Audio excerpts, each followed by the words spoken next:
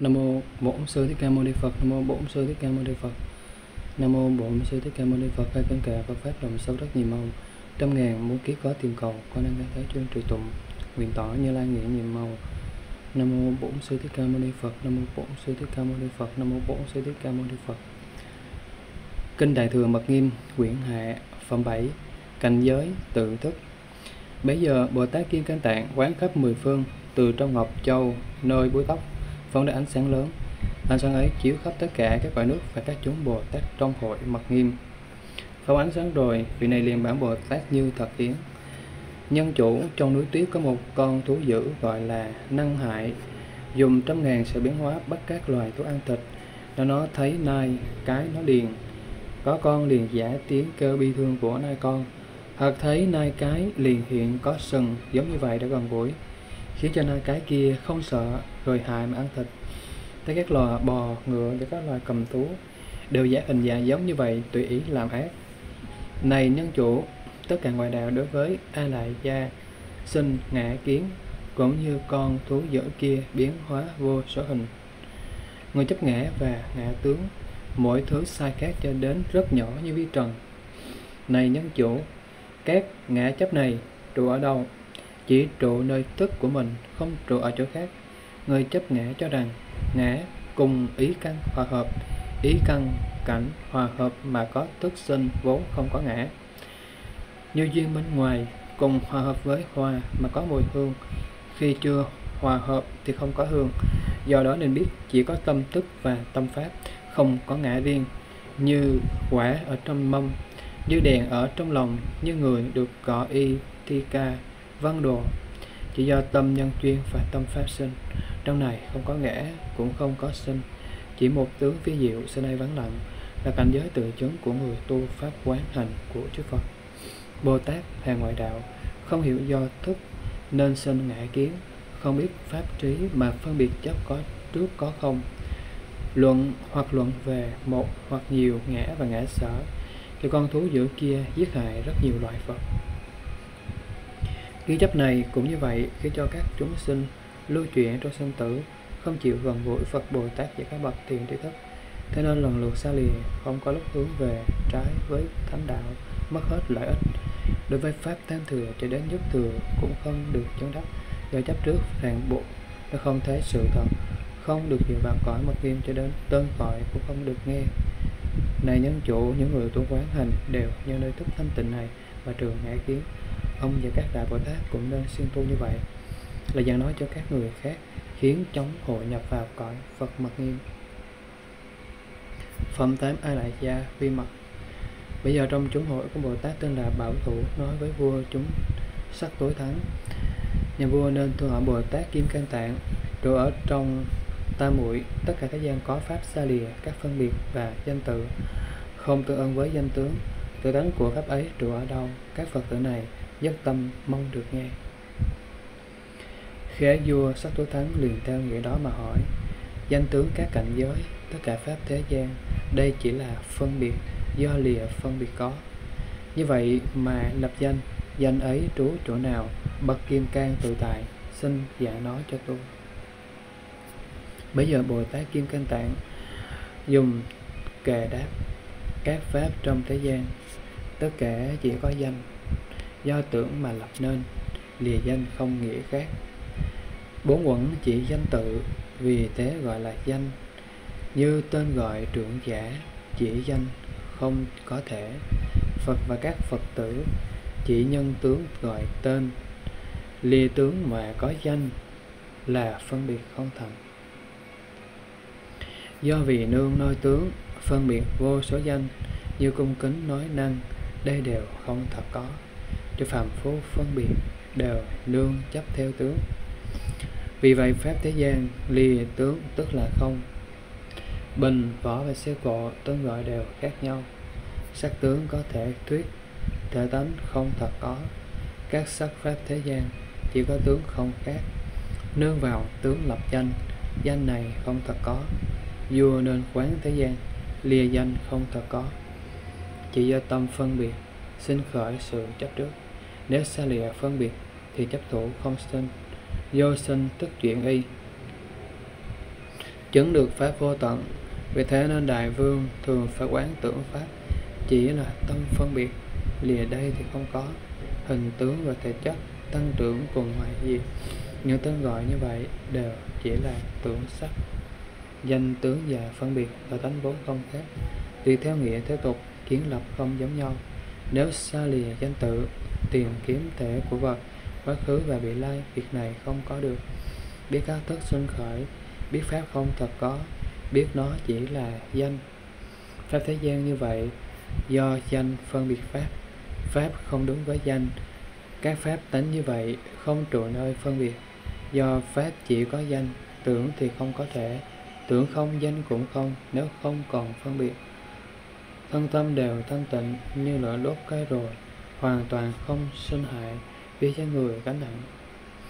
Tên người gánh nặng này tuy gánh nặng nên khác tướng người gánh khác nhau, danh chư vật được gánh, phân biệt tên người gánh do nơi các loại danh, phân biệt tên khác nhau như thấy người làm ác.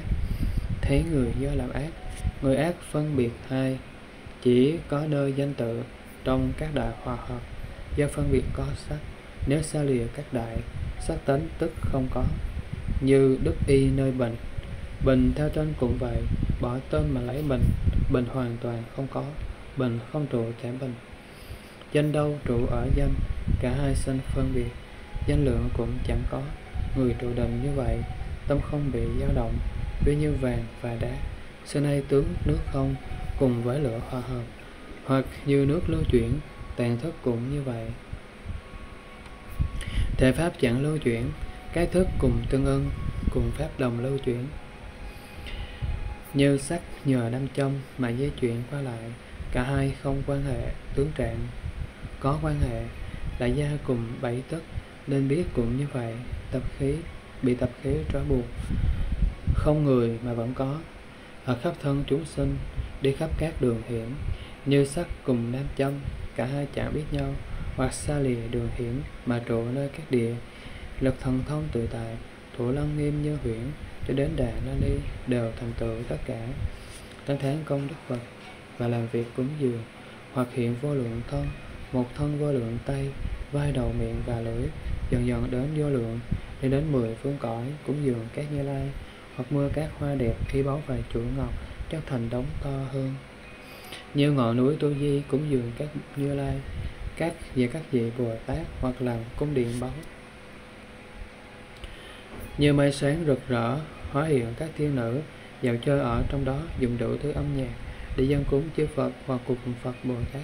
Thường ở chung một chỗ tự tại mà nhiếp phục tất cả các ma oán. Từ chứng đắc tam muội, chuyển được chỗ sở y, sẽ vô năm loại pháp. Tám thức và vô ngã liên tục không dừng nghỉ, nhất tâm mà cúng dường, hoặc hiện làm thân nhỏ sau đó như với trần hoặc hiện làm thân lớn, vô biên không thể được đủ các loại sắc tướng, đều cúng dường như lai. Họ ở trong thân mình, con nạp các thế giới, đã ở trong hạt cải, đem biển cả gom thành, bằng như dấu chân bò.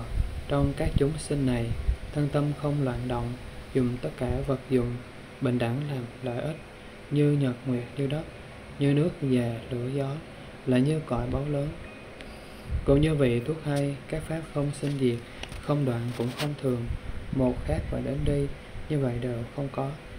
Giả lập các thứ danh, đây là tánh biến kế. Các pháp giống như huyễn, như mộng thành thác bà, sóng nắng trong sắc nước. Vòng lửa mây điện chết trong đó vọng chấp thủ đây là tánh biến kế. Đủ các thứ tên gọi, vô số pháp thuyết giảng, đây đều không thật có đại cho tánh biến kế. Tất cả pháp thế gian không xa lìa danh sắc đây đều chỉ có danh đề danh không nghĩa khác. Tánh biến kế như vậy, ta vì thế gian thuyết bắt theo duyên theo các sắc, hòa hợp cùng sinh khởi, tiếng phát theo dùi trống. Mầm từ đất mà sinh, cung điện và bình chỏ đều do các duyên khởi. Chúng sinh và các pháp đều nương theo ba tánh, hoặc là pháp vô lậu không tự lìa nghĩa này. Từ chấn trí sinh khởi tánh này là chân thật tướng các pháp sai biệt, tự tánh pháp đã thuyết. Nếu xa lìa tự tánh, các pháp không hiện rõ. Như người dùng các vật làm bộ thứ hình giả, sắc tướng tuy không đồng, tánh đều chẳng chất thật. Thế gian đều như vậy, các thứ đều không thật, do vọng tình chấp trước, biến kế chẳng có khác. Ví như ngọc mani tùy sắc mà hiện hình, thế gian cũng như vậy, chỉ do phân biệt có. Thể dụng không tồn tại vì tánh biến kế này như thành càng thất bại, không thành mà giống thành cũng chẳng phải không nhân, có thể thấy như vậy, thế gian vô số vật nên biết cũng như vậy, mặt trời và các núi, nhà cửa và khói mây, mỗi thể tướng khác nhau, chưa từng có xen lẫn, không cùng, không tự thay tự tánh đều không thành, chỉ là chỗ phân biệt. Tự tánh của biến kế, các vật ngoài nhân sinh, chẳng phải không có nhân hoặc có hoặc không có. Đây đều là vọng chấp danh nương tướng sinh khởi, hai thứ phân biệt sinh, chánh trí và như như xa lìa sự phân biệt. Tướng tâm như hiện rõ, y cùng, ý cùng làm sở y, ý và năm tâm sinh, cũng giống như sóng biển. Tập khí không bắt đầu, cảnh giới cũng như vậy, do tâm tập khí sinh, cảnh khiến tâm mê loạn, nương theo thức lại gia tất cả các chủng tử cảnh giới tâm như hiện vì thế mà gian mà tuyết. Bảy thức a lại gia lần lượt sinh ra tướng. Tám loại thức như vậy không thường cũng không đoạn. Tất cả các thế gian, tờ có sự sắp đặt chấp có các chúng sinh, ngã và ba hòa hợp, phát sinh các thứ thức. Phân biệt các cảnh giới, hoặc vọng chắc là có, do người tạo nghiệp nhân, sinh ở cõi phạm thiên. Trong ngoài cái thế gian thế gian chẳng ai tạo nghiệp và vi trần nghiệp, chỉ là a lại gia.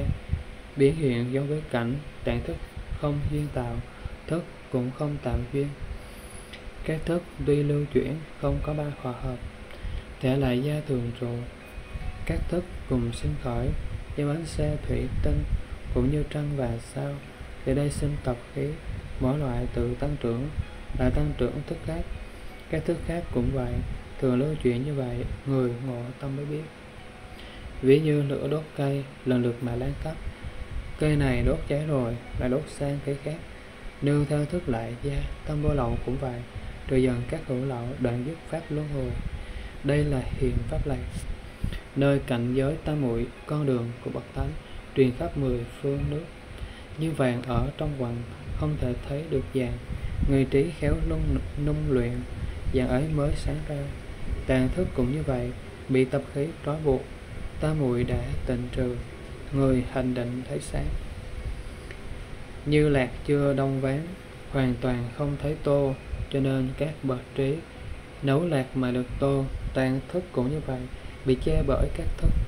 Những người định mật nghiêm siêng quán mới chứng được. Ánh sáng lớn mật nghiêm đến xưng trí vi diệu, phật tử xuyên tu tập thường sinh trong nước này coi sắc và dạ, do sắc không thức phi phi tưởng. Ở đó thường xuyên tu mà sinh đến chỗ này. Các phật tử trong đây oai quan giống mặt trời, ở nơi chỗ tu hành và ý nghĩa tương ứng.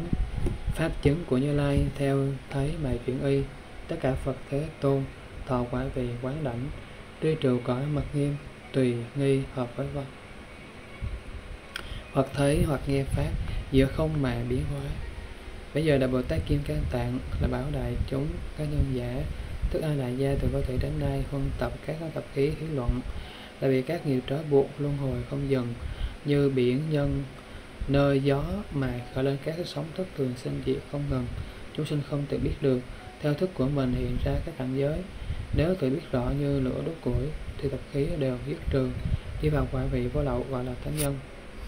Các nhân giả tức A lại gia biến hóa tựa như các cảnh, hoàn toàn đối với thế gian, ý nhiễm ô, duyên chấp theo, ngã và ngã sở. Các thức đối với cảnh mà mỗi đều phân biệt. Các nhân giả, tâm, tích tập, ý, nghiệp cũng vậy. Các thức biết rõ tất cả các pháp, năm thức phân biệt cảnh giới hiện tiền. Như người bệnh nhận mắt, thấy tựa như vần quán, ở trong tâm tự như có sắc, chẳng phải sắc, chấp là sắc. Các nhân giả như vật báu ma đi theo tánh thanh tịnh nếu đặt vào ánh sáng mặt trời thì tới chỗ thích ứng của viên ngọc mà mưa xuống các bọt máu. Thức a lại da cũng vậy, là kho tàng thanh tịnh của các như lai cùng với tập khí hòa hợp, biến chuyển giống như các sắc trong các thế gian. Nếu hợp với tướng vô lậu thì mưa xuống các pháp công đức, như sữa biến thành ván sữa cho đến thành sữa đặc. Thức a lại da cũng vậy, biến đổi giống như các sắc của thế gian. Do người bị đau mắt do bệnh nhầm mắt nên thấy giống như vần quán tất cả chúng sinh cũng như vậy do tập khí che lấp ở trong tàn tích mắt sinh ra các cái sắc cũng vậy. Sự thấy sắc này giống như sóng đáng xa lìa có, không đều là sự biến hiện của a lại gia. Này các nhân giả, nương theo nhãn sắc từ có thức sắc, như việc huyễn sinh ở trong mắt, theo tướng dao động như khi đốt ngọn lửa. Các nhân giả, tất cả các sắc đều là a lại gia cùng với sắc hôn tập tương ứng biến hóa tựa như tướng của nó chẳng có thể khác biệt. Đồng với sự phân biệt của phàm phu, các nhân giả tất cả chúng sinh hoặc ngồi hoặc nằm hoặc đi hoặc đứng, say, sưa, ngủ nghỉ cho đến chạy tán loạn đều do thức a lại gia bây giờ ánh sáng đến gay gắt của mặt trời chiếu xuống mặt đất, làm lay động giống như dòng nước, làm cho những con thú đang khát mê lầm chạy theo. Thức a lại gia cũng như vậy tự tánh chẳng phải sắc, mà hiện giống như sắc. người phân biệt vòng sinh chấp trước như sức hút của nam châm khiến sắc di chuyển. Tuy không có tâm tự như có tâm. Tất cả lại gia cũng như vậy vì chất giữa pháp sinh tử quay lại trong các nẻo. Chẳng phải ngã mà giống ngã. Như trong nước có vật thì không có sự hiểu biết mà theo dòng nước chuyển động không ngừng. Tức a lại gia cũng vậy thì không phân biệt mà nương thân vận hành. Với như, như hai như có hai con voi mạnh khỏe đấu nhau đến một con bị thương nó liền rút lui. Nên biết thức a lại gia cũng như vậy thức này đoạn, đoạn các phần tập nhiễm nhưng không bị lưu chuyển. Ví như hoa sen ra khỏi bùn sáng suốt thanh tịnh liệt khỏi phiền não. Chư thiên quý nhân thấy đều kính trọng thức a lại gia cũng vậy ra khỏi bùn tập khí trong sáng được chư phật bồ tát và đặc đại nhân quý trọng. Như thế gian mong cầu có ngọc báu đối với kẻ ngu thường bị nhiễm ô bậc trí được rồi, liền dâng lên vua. Dùng để trang sức làm một báo đồ cho vua. Đó là gia cũng vậy là chủng tánh thanh tịnh của các như lai. Đối với hàng phàm phu, thường bị tạp nhiễm và ta chứng đắc là đoàn giúp các thập khí cho đến thành phật, thường giữ gìn phật báo đó. Như ngọc quý ở trong nước bị vỏ ốc bao chung quanh tức là gia cũng vậy ở trong biển sinh tử được các tập khí ác, ngang che không hiện ra. Các nhân giả tức a lại gia có năng thủ sở thủ, sinh ra hai tướng giống như rắn hai đầu, muốn đến chỗ ưa thích. Cũng vậy, thức a, thức này cùng với sắc tướng sinh khởi, người thế gian chấp làm sắc hoặc chấp ngã ngã sở hoặc có hoặc không, có thể tạo ra thế gian và đối với thế gian, đường tự tại. Các nhân giả thức a đại gia tuy biến hiện nhiều loại mà tánh rất thâm sâu, người vô trí không thể hiểu rõ ví như huyện sư, giả tạo để các con vật hoặc đi hoặc chạy, cũng như chúng sinh đều không nhất định là thật. Tức a lại gia cũng như vậy. Tại ra các thế gian và chúng sinh không phải thật. Cái phòng phu không hiểu phòng sinh chấp trước. Bậc trường phu khởi tánh, thù thắng, tự tại mà không thấy. Các nhân giả ý có thể phân biệt tất cả thế gian. Cái thấy phân biệt này như tính chất trong tranh, như hình trong gương, như người nằm mộng thấy vật như cung thất đều hoàng nhân, như thành càng tác bà, như âm vang trong núi như sóng nắng như bóng cây trên dòng, như bóng trăng trong ao. Người phân biệt đối với a lại gia cũng vọng chấp như vậy. Hoặc có người đối với thức này, có thể chân chánh quan sát, biết các thế gian đều là tự tâm, thì sự thấy phân biệt này đều là chuyện gì? Này các nhân giả thức a lại gia là sở y và các pháp tập khí, là tâm phân biệt tán loạn nên xa lìa tâm phân biệt liền trở thành vô lậu, giống như hư không. Để các bồ tát ở nơi ở lại gia đắc tam bụi sinh ra thiện định giải thoát vô lậu, được sức phương tiện thần thông tự tại. Các pháp công đức mười quyền viên mãn, thì ý sinh thân, chỗ chuyển sở y của thức, thường trụ đồng với tánh của hư không, chẳng hoại diệt các nhân giả như lai thấy khắp tất cả thế gian không có hoại diệt người nhập niết bàn chẳng phải là hoại diệt cũng chẳng phải không có chúng sinh, mà nay mới sinh quả đức trong mười phương được một pháp tánh. Chư Phật xuất hiện hay không xuất hiện ở thế gian, tất cả các pháp trụ nơi pháp tánh vẫn không thường, không đoạn. Nếu người giai thoát nơi canh giới sinh diệt của chúng sinh, tức là hoại tánh như tiêu trí của như lai, Phật biết pháp quá khứ vì lai hiện tại không bình đẳng nếu chúng sinh diệt niết bàn thì ai xa lìa khổ? Hữu dư do dư và những việc hàng phục các ma đều là vọng thuyết do đó nên biết, những người tu quán hành chứng được thân thường trụ giải thoát sau lìa các uẩn, diệt các tập khí, vẻ như thanh sát nóng bỏ vào nước lạnh. Sức nóng tuy không còn, nhưng thanh sắc vẫn không hại diệt. Các nhân giả biện thức a lại gia bị hí luận khô trọng, va chạm, nên năm pháp ba tánh sống các thức tương tục sinh khởi, có cảnh giới và tướng dao động, ở nơi chỗ do nghĩa mà hiện nghĩa như thật. Các nhân giả, tức là đại gia đi trong rừng các quẩn ý thì đi trước, ý thức quyết định sắc và các cảnh, năm thức nương theo canh hiện rõ cảnh giới các thuộc cảnh giới đều là thức a lại gia. Các nhân giả thức a lại gia, cùng mạng sống hơi ấm, xúc hòa hợp và trụ ý trụ nơi thức này thức này lại trụ nơi ý. Ngoài ra, năm thức cũng trụ nơi tự căn. Các nhân giả tâm ý tức trụ nơi các uẩn biện dục dẫn dắt, lưu chuyển không dừng. Ái nhân nơi nghiệp mà sinh, do nghiệp thọ thân thân là tạo nghiệp. Bỏ thân này rồi lại thọ thân khác, như trùng bò trong hang, tâm và tâm pháp, sinh khởi các nẻo. Là cho nhóm các uẩn, các nhân giả, mạng sống hơi ấm và thức nếu xa lìa thân này thì không còn sự hiểu biết giống như gỗ đá. Các nhân giả tâm chấp ngã tạng tức này gọi là ý, chấp thủ các tạng giới gọi lại tức. Tâm có thể nương thân, ý chấp ra cõi, ý thức hiện rõ năm thứ phân biệt. Tạng thức là nhân sinh khởi các tức, ý và thức ý thức lại từ đẳng với giới duyên mà khởi. Năm thức lại nương vào tăng thượng duyên mà sinh, đồng thời do tự căn làm tán thượng các nhân giả thân như thay chết mà đứng dậy, như sóng đánh tùy theo các hành là nhân duyên mà di chuyển. Chẳng phải hư vọng, chẳng phải phân chân thật, bị tâm ái dẫn dắt tánh không vô ngã.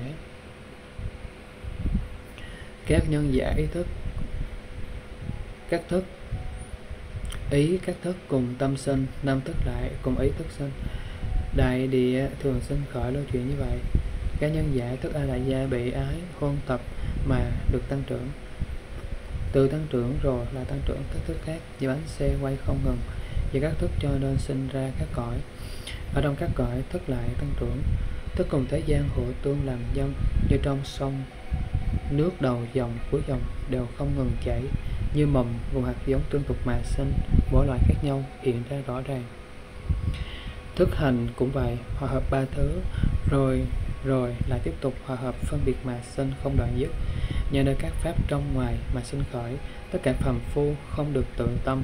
Phật tử các ông nên siêng quán sát lúc đó, vua chúng sắc tối thắng, lại hướng về đại bồ tát kim cang tạng nói kệ. Người được sự không sợ, tạng kim cang tam muội khẽ nhập vào mật nghiêm, thuyết giảng tất cả pháp, phật và các phật tử, chánh tư duy tam muội, thấy được tướng các pháp, vi diệu không gì bằng xin nguyện xin bậc đại trí vì chúng tôi tuyên thuyết. Tôn giả thường an trụ cung nguyệt tạng mani ngồi trên tòa xe tử, các bồ tát vây quanh, mong vì các đại chúng. Thuyết pháp định mật nghiêm, đây là phật nguyệt tràng. Vì đại chúng diện thuyết, đại chúng sẽ đến đây xin thuyết không mỏi mệt.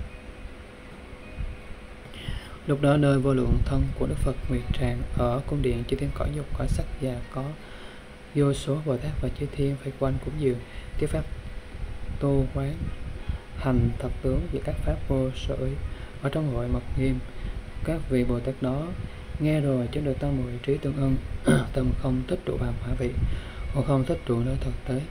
Ở trong định cùng nhau quán sát, tâm mỗi vị đều nghĩ, ai đã thấy và chứng đắc pháp thật tướng quán hành, làm sao mà thấy được người này? Tâm họ sinh khác ngưỡng, cùng nhau im lặng các phật tử đó lại nghĩ, đây là định gì? Thế nào? Là chẳng phải định định ở chỗ nào? Những gì là đối tượng của định ấy. Nghĩ như vậy rồi, thấy vị đứng đầu của các bồ tát trong cả mặt nghiêm. Đầu đội mũ báu trang nghiêm bằng 32 tướng tốt. Các vị bồ tát đó từ định xuất ra mặc y phục tốt đẹp. Ở vô lượng của phật tử phải khác đến nhất tâm chiêm ngưỡng bồ tát kim can tạng bây giờ đại bồ tát kim can Tệ dạy khắp bốn phương. Theo các đại chúng liền xin ý nghĩ muốn thuyết pháp. Vui vẻ mỉm cười, phát ra âm thanh hòa nhã, nói kệ, này phật tử các ông, nên nhất tâm lắng nghe, cảnh định khó nghĩ bàn, chẳng do phân biệt biết. Định và người hành định, duyên định cũng như vậy, lìa các dục bất thiện sẽ có được giác quán. Tịch tỉnh sinh hỷ lạc là nhập vào thiền định. Lần lượt sinh như vậy 4, 8 cho đến 10 ngoài đạo chấp trước ngã thường tô các định này tất cả hàng thanh văn bất chư Phật cũng vậy biết rõ ở thế gian tự tướng của các pháp vẫn xứ như trà nhà trống. Trong này không có ngã không ý nghĩ động tác như các phần thay chớp chỉ có ba hòa hợp vốn không người tạo tác. Hàng ngoại đạo tu định khởi chấp về tánh không người này bê tướng pháp hòa diệt tất cả pháp nếu có thể tu hành định vi diệu như lai biết rõ uẩn vô ngã thì các chấp điều gì? Tất cả chỉ có thức các pháp đợi, tướng đều không. Không tướng năng tướng sở không giới cũng không uẩn. Phân tích đến vi trần cũng đều không chỗ trụ. Đất nước cùng các vật đều từ phân biệt sinh. Người không biết tánh thể tánh ấy. Chấp thủ tướng như vậy sắc xấu cùng sắc đẹp các sắc khác cũng vậy. Ví như trong hư không, mây sấm các tia chớp, tư duy như bồi xương ở khắp cả thế gian. Và quán tượng biến xứ, quán ở trong các đại thân có sắc không sắc người định tư duy đúng. Nếu duyên theo một tâm và là duyên thanh tịnh như đối tượng phân biệt, cảnh ấy thành sở duyên.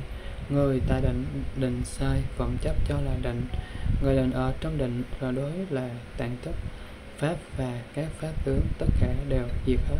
Người được định thù thắng khéo giảng thuyết các định phá những người tu định biết pháp bằng trí sai, hoặc người có trí kém, chấp pháp và ngã pháp, mà chấp ngã. Cho mình nói chân thật, khéo thuyết giảng các pháp, chấp trước các pháp tướng hại mình và hại người, không tướng năng, tướng sở, vọng sinh thấy phân biệt, vị ngọt hay trường nóng đáng chua mặn tùy đàm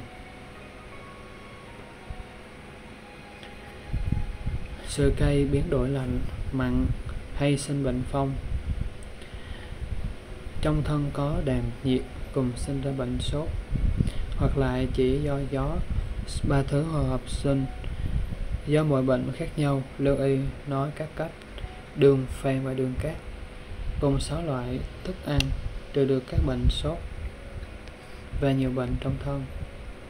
Nếu pháp có tự tánh và cùng tất cả tướng, người bệnh uống không đúng, thuốc không trừ được bệnh. Người đời làm sao thấy uống thuốc bệnh được lành, người định quán thế gian chỉ là thất lại gia biến dị mà lưu chuyển như các con Phật giả, không tướng năng tướng sở vẫn cùng với các vẫn cũng không khác chi phần, do có các chi phần, trong đời không chủ tể và tạo ra thế gian gồm tất cả vi trần chẳng phân tán mười phương. Lần đầu chẳng nhỏ nhất, tiếp theo như ngón tay, hai ngón hoặc ba ngón, các vật hòa hợp chuyển mặt na mọi sai khác nghĩa như vậy đều không, phi thời, phi thắng tánh, và ba pháp tạo ra. Chẳng phải không có nhân, tự nhiên mà có được. Đây do tập khí nghiệp làm câu ế trong tâm nương tâm và nhãn căn các thứ vọng phân biệt, ý cùng với ý thức. Gia thêm a lại gia hiện ra khắp thế gian, như huyễn tạo các vật bình cùng các cảnh giới, đều lấy tâm làm thể, chẳng phải bình giống bình, cho nên nói là không, các sắc của thế gian. Cung điện các cõi trời đều là a lại gia, biến đổi có thể thấy thân thể của chúng sinh, từ đầu đến chân tay, sinh nhanh hoặc sinh trọng không ngoài a lại gia vì nào ở trong tâm phàm phu không thể thấy tánh này chẳng có thật. Cũng chẳng phải là không, như người dùng các vật đến vỡ những cái bình. Tánh vật nếu là không, chẳng thể làm bình vỡ. Như tường núi tu chi, ngã kiến, chưa là ác. Kiêu mạng và chấp không, ác này còn ác hơn. Tánh không tùy căn khuyết không nên giảng sai chỗ nếu thuyết giảng sai chỗ, cam lộ thành túc độc tất cả các chúng sinh sinh khởi các kiến chấp. Vốn đoạn trừ các kiến, vì vậy thuyết lý không, nghe không chấp làm thuật, không thể đoạn kiến chấp. Chấp này không thể trừ, nhưng bỏ việc chữa bệnh. Ví như lửa đốt cây cây hết, lửa không còn. Cây chấp nếu đã đốt, lửa không cũng tắt hết. Lúc lửa trí tuệ sinh, các kiến chấp được trừ đối với các phiền não, tất cả đều thanh tịnh. Mâu ni dùng trí này giải thoát nơi mặt nghiêm. Không thấy dùng rừng thỏ phá hoại ở núi cao thạch nữ chẳng có con cầm tên bắn vào vật. Chưa nghe bố chiến đấu mà tìm cung sừng thỏ, ai tạo nên phòng nhà, khiến cho thạch nữ tại tất cả pháp tấn công cùng pháp thường đồng thể, lúc đầu ở thai tạng chất sinh thường hoại diệt lìa không chẳng có sắc, lìa sắc chẳng có không. Như trăng cùng ánh sáng trước sau thường không khác các pháp cũng như vậy. Tánh không vẫn đồng nhất lưu chuyện không khác nhau, chỗ làm được thành tựu. Thân này như tử thi, xưa nay không tự tánh. Luôn bị ái ràng buộc, bị cảnh động, dẫn dắt. Phật thuyết giảng lý không, vì bướng đoạn các kiến. Các ông người có trí phải nên nhất tâm học, ví như nhà huyễn thuật, dùng các dùng lực các chủ thuật. Cỏ cây và các duyên tùy ý tạo các vật, đưa theo mắt và ái, ý theo sắc ánh sáng.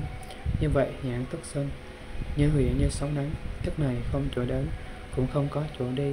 Tăng các thức như vậy, không nên chấp có không.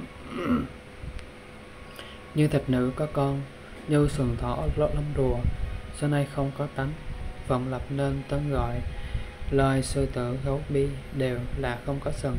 Vì sao chẳng phân biệt? Chỉ bảo thỏ không sừng. Người đàm luận khéo léo, sao không thể tuyên thuyết? Nhiễm bạch trí đời trước chỉ nói thỏ không sừng, người mê vọng phân biệt như công và điếc mù. Người này không có trí, không thể tự chứng pháp chỉ theo lời khác chuyển, đâu cần phải phân biệt. Nếu xa lìa phân biệt, nên xin cõi mật nghiêm trong chánh định nhất tâm, hiện khắp mười phương cõi. Ví như cung điện trời, các sao và mặt trăng đương ở núi tu di, nhờ sức gió chuyển động. Bài thức cũng vậy, đương vào a lại gia. Chỉ dùng các tập khí của mỗi thường đối chuyển. Ví như nương nơi đất sinh trưởng tất cả vật tất cả loài hữu tình, cho đến những ngọc quý. Tạng thức cũng như vậy, chỗ nương của các thức, với như con chim công lông cánh nhiều màu sắc, trống mái ưa thích nhau vui cùng vui vẻ náo đức người định quán lại gia nên biết cũng như vậy. Chủng tử giả các pháp, cùng lần lượt nối nhau. Ví như trong dòng sông, ngày đêm chạy ra biển. Dòng sông vẫn không cạn, biển thì cũng chẳng khác. Tàn thức cũng như vậy, thân sâu không có bờ, tập khí của các thức. Ngày đêm thường lưu chuyển do đó có nhiều báu và các loại vật, loài vật khác. Ban cho các chúng sinh tùy theo người lấy dùng, tàn thức cũng như vậy, cùng khởi các phân biệt, tăng trưởng ở sinh tử, chuyển ý thành chánh giác thành thiện, hành thanh tịnh, ra khỏi cả mười địa, vào trong địa như lai, mười lực đều viên mãn. Chánh trụ nơi thực tế thường hằng không ngoài diệt như đất không phân biệt, ứng hóa không tận cùng. Như mùa xuân hoa nở, chim người đều vui thích thức chấp trì cũng vậy, người định nhiều mê chấp.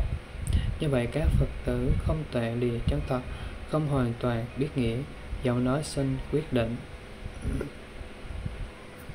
Lời phi pháp lý gian. Mê hoặc các chúng sinh trụ ở các pháp khác sinh lời nói khác nhau.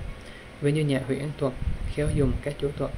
Ở chỗ không hoa quả, hiện đủ thứ hoa quả. Tuy phương tiện thiện xảo, phật bồ tát cũng vậy trụ thế gian khác nhau mà ăn lập riêng biệt, biết vô số pháp môn, dẫn dắt không cùng tận. Pháp chân thật quyết định, trong mặt nghiêm hiện rõ, sáu giới và mười tám mười hai sớ thù thắng, dễ ý bị dẫn dắt. Nên chúng sanh lưu chuyển tam thức các giới sớ cùng hòa hợp sanh khởi, thân trước và thân sau tôi nơi ý mà chuyển. Phật thuyết tạng tức này, nhân biến thiên lưu chuyển, sinh ra tất cả thân liên tục không đoạn dứt lúc Bồ Tát Kim Cang Tạng thuyết về nghĩa tối thắng của các giới xứ rồi các đại Bồ Tát ở trong cung điện Mani Bảo Tạng thanh tịnh được sự không sợ hãi hiện đến trước đảnh lễ đã có số lượng chư Phật Bồ Tát vào nước đến đồng tán tháng lành thay lành thay. Trong chúng lại có vô lượng Bồ Tát chư thiên và các thiên nữ để đến giải chấp tay cùng nhau chiêm ngưỡng và nói kệ trong tất cả, người định, nhân giả là thượng thủ nên vì các bồ tát thuyết pháp diệu tối thắng xử lìa các ngoại đạo và các luận chấp ngã. Cá nhân nhân giả đã chỉ rõ sáu giới định tối, tịnh tối thắng. Chỉ các giới hợp lại, theo nhân để duy chuyển, ví như trong hư không có dấu chim hiện rõ, cũng như lìa nơi cây, lửa được cháy hừng hực.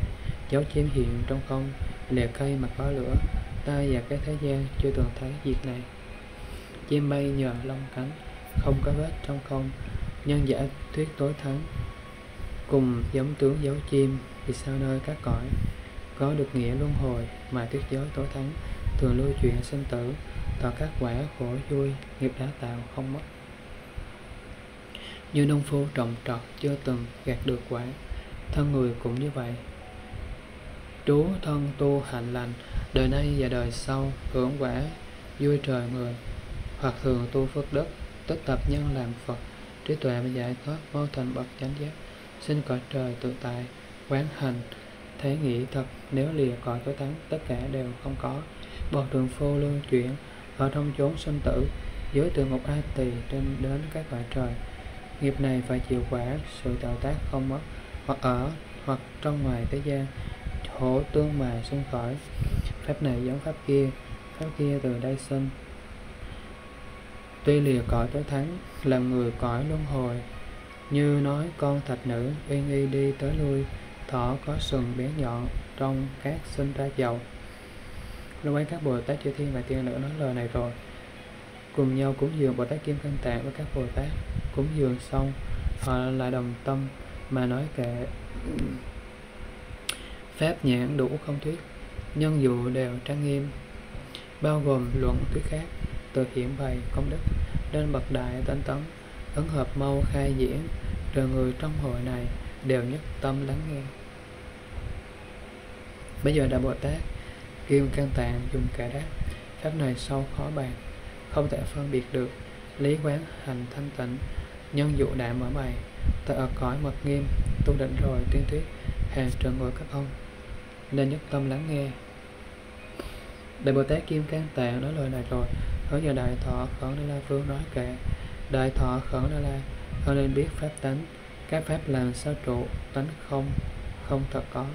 Thấy tương ưng như vậy thiền định không mê hoặc như ăn một hạt cơm có thể biết hạt khác. Các pháp cũng như vậy, biết một tức biết nhiều. Như bán sữa đông lại, dùng đầu lóng tay các pháp tánh như vậy nên một pháp quan sát pháp tánh chẳng phải có, cũng chẳng phải là không. Biến đổi của tạng thất lấy tạng không làm tướng. Đối với đại thọ cận đà la vương nói kệ, vì sao trong tâm lượng mà có cõi và người? Vì sao sinh các cõi cứng ức và nóng động? Bây giờ đại bồ tát kim cang tạng nghe nói rồi, dùng kệ đáp lành thay đại tọa vương nơi ông hỏi điều này muốn khiến người tu hành tâm họ được chân thật. Nếu ta vì ông nói, đàn sư nên lắng nghe ông sơ ở cung điện cùng với các quyến thuộc. Từ trên không ca múa mà đi đến chỗ phật. Tay ông thường gãy đàn, dùng lưu ly trang sức, tấu lên tiếng hòa nhã, làm vui lòng mọi người, cho lượng các thanh văn. Ở chỗ phật thấy nghe, không thể ngồi yên được, đều đứng dậy múa hát lúc đại sĩ thiên quan bảo với ca diếp rằng các ông bật địa dục, vì sao còn nhảy múa? Bây giờ đại ca diếp thưa đại sĩ thiên quan bồ tát có sức mạnh. Bây giờ con gió lốc, thanh văn trí vô định, như hắc sơn lay động. Tuy lì hoặc phân biệt, còn diễn tập khí xấu, bỏ hết các tập khí tâm tình nên thành phật. Ông đối cảnh vi tế, tâm ấy đã thông đạt nhiều luận thuyết trong đời biết rõ và quyết định khéo đối với các tướng và pháp phật thanh tịnh, ông ở trong cung điện cùng quyến thuộc vây quanh. Thanh tịnh và tốt đẹp như trăng rằm sáng, có thể tu quán hành ở trong chúng tự tại. Hỏi ta cõi và người, vì sao từ tâm khởi ông và các phật tử nên nhất tâm lắng nghe. Trong cảnh giới các ông, tâm là cõi tối thắng, các cõi nhân đây sinh nghĩa này ta sẽ thấy như ẩm ướt sinh nước, nóng quá sinh ra lửa, tạo các nghiệp dao động, nhân đó sinh ra gió. Từ sắc phân chia ra, có đất và hư không, cảnh giới và các tập, tu tập do thức sinh.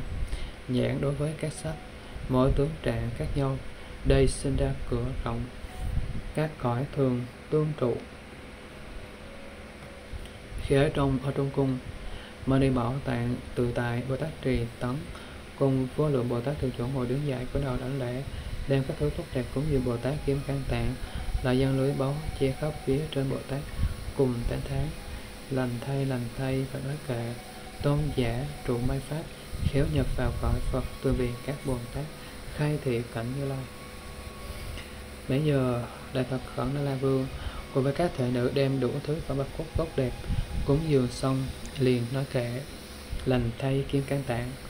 Bậc đắc vô sở ý vì chúng tôi khai diễn pháp thế diệu như lai. Nay điện ma đi này rất thanh tịnh tốt đẹp. Lúc ấy Bồ Tát Quán Tự Tại, Bồ Tát Từ Thị, Bồ Tát Đắc Đại Thế, Bồ Tát Văn Thù sẽ Lợi, Bồ Tát Bảo Kế, Bồ Tát Thiên Quang, Bồ Tát Tổng Trì Phương, Bồ Tát Nhất Thiết Nghĩa Thành. Những vị đại Bồ Tát như vậy cùng với vô lượng người tu quán hành đều là những chư thiên, có ai đức lớn, có thể mở bày được tâm quán hình, từ chỗ ngồi đứng dậy, cùng nhau quan sát, hướng về Bồ Tát Kim Cang Tạng mà nói kệ. Xin nguyện Kim Cang Tôn, chỉ rõ pháp nhãn tạng, tôn giả hiện tướng lành, tất cả đều thấy biết.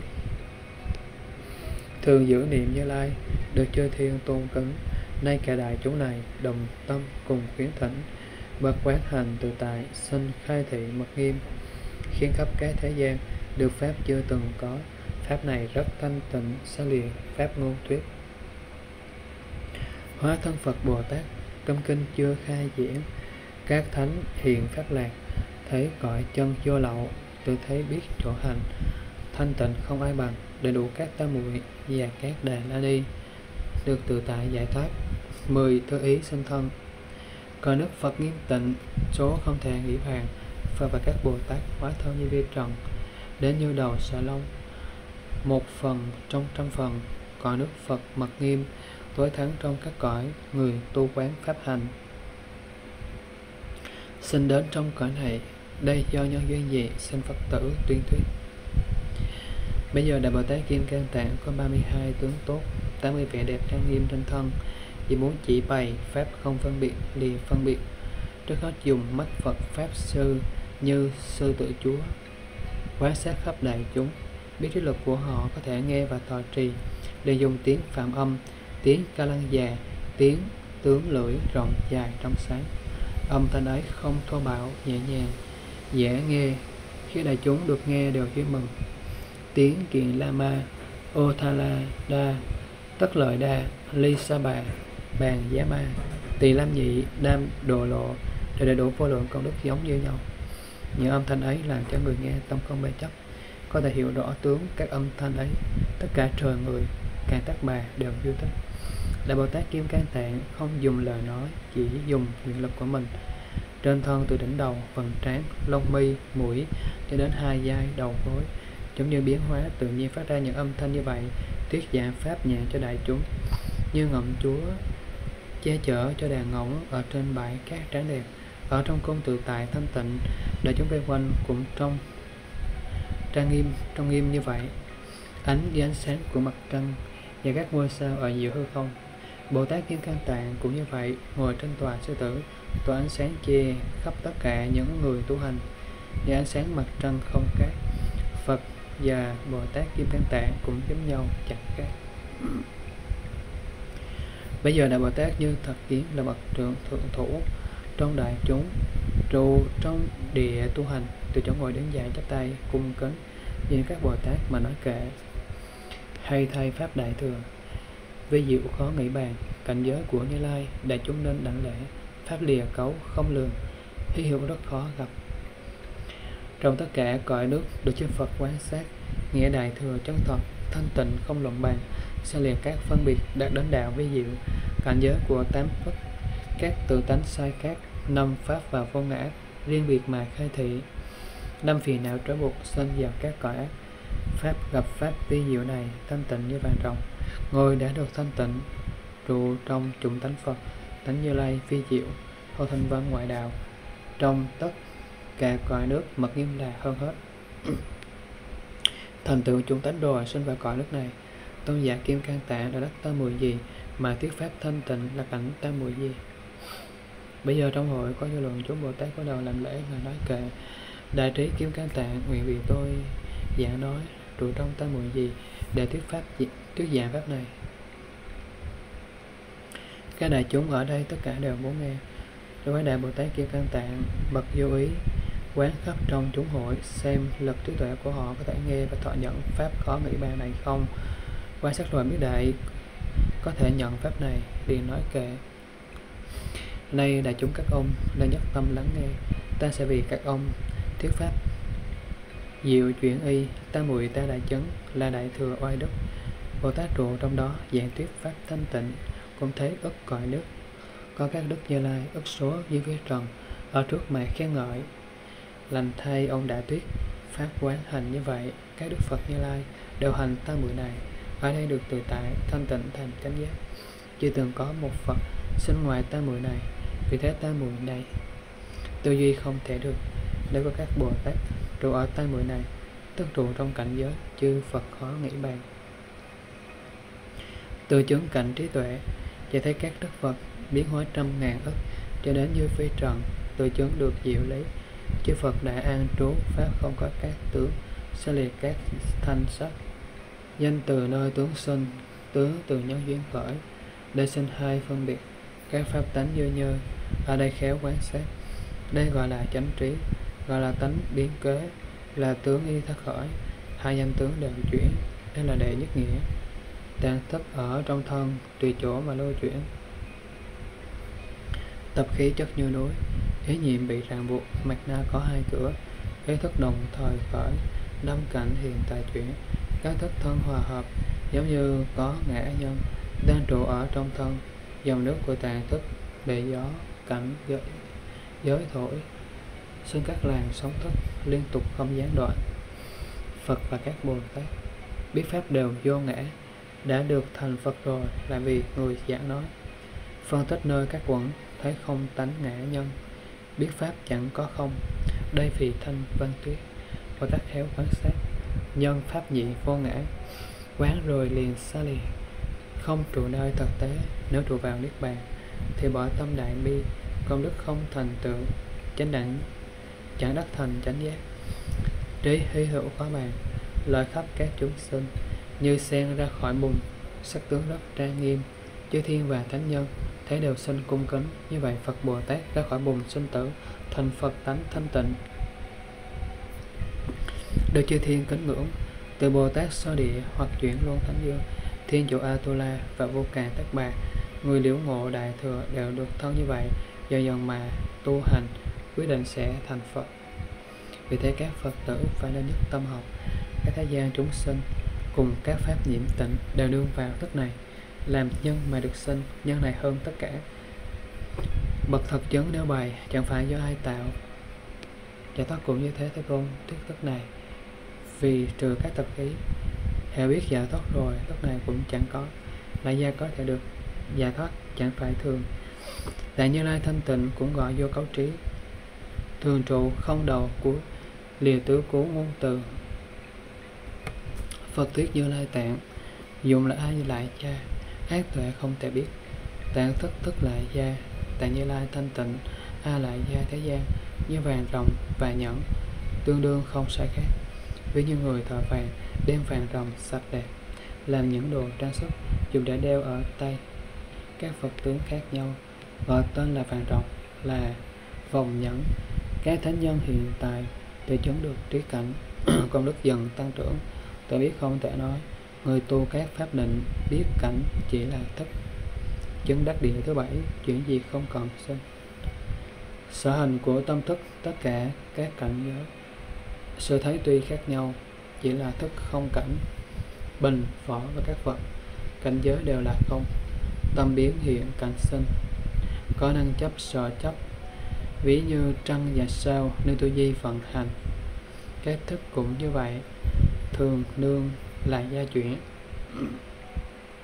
Nên biết thức lại gia, tức gọi là mật nghiêm với như vàng rồng quý, đủ ánh sáng màu sắc từ chấn cảnh thanh tịnh ngoài cảnh giới phân biệt, tánh xa lìa phân biệt phân biệt không thể có, thể tánh chân thật thường. Người định có thể thấy chỉ hành của ý thức. Chỉ trói buộc phàm phu, bậc thánh thanh tịnh thấy giống như những sóng nắng. Lúc thế tôn nói kinh này rồi, bồ tát kim căn tạng cùng vô lượng bồ tát dạy cho chúng từ các phương khác đến trong hội này, nghe lời phật dạy, đều rất vui mừng, tính thọ phụng hành, kinh đại thừa mật nghiêm quyển hạ.